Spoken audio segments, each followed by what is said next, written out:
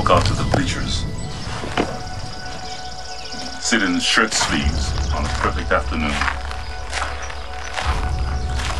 They'll find they have reserved seats somewhere along one of the baselines. Where they sat when they were children and cheered their heroes. And they'll watch the game. And it'll be as if they'd dipped themselves in magic waters. The memories will be so thick they'll have to brush them away from their faces.